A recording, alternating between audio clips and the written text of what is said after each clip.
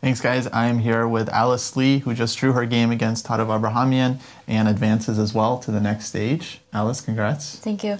Um, how was today's game? Uh, felt pretty complicated? Yeah, I thought it went pretty smoothly. Um, like from the opening, I knew that it was around equal, um, but I did have to like calculate some variations. Um, actually, after the game, I talked to my opponent, and she said that she prepared up to like move 18. So um, I was pretty surprised. And Oh, in this position, in this line, yeah? yeah, Oh, so knight f1, knight g3, and you were already on your own here. You're thinking. yeah. So after actually, I didn't prepare rook e1. I was looking at like more of queen c2 uh, on move 10. Um, but yeah, so then after here, um, I think rook d8 was probably correct. Um, it makes the most sense. Yeah, but after knight f1, actually here was where I had to calculate because originally when I was looking at knight takes e5, um, I was worried that she could take on e5.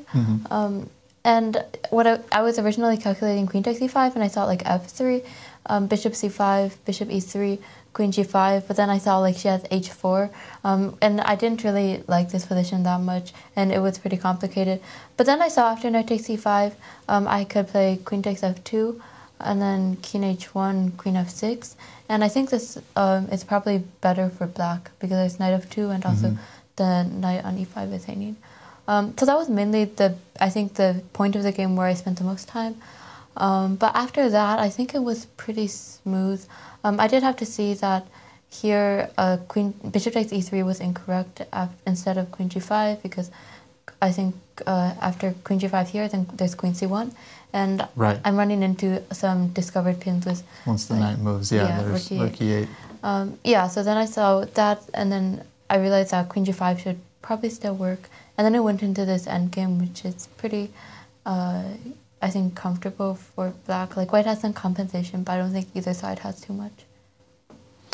Yeah, uh, so you felt pretty comfortable in holding this one from here? Yeah. Um, great. Well, it looks like you're playing uh, Begim in the next round. I want to ask uh, do you have any strategy for, let's say, adjusting from the classical to the rapid portion of these matches?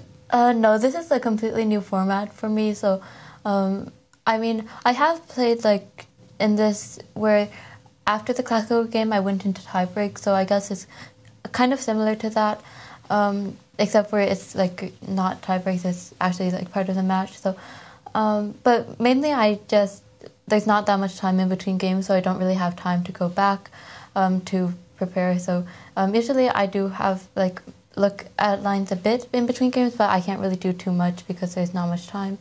Um, and yeah, so but I don't really have too much of a strategy. I just, uh, I mean, I just try not to stress too much about it and like try to take a walk in between games, so uh, to clear my head.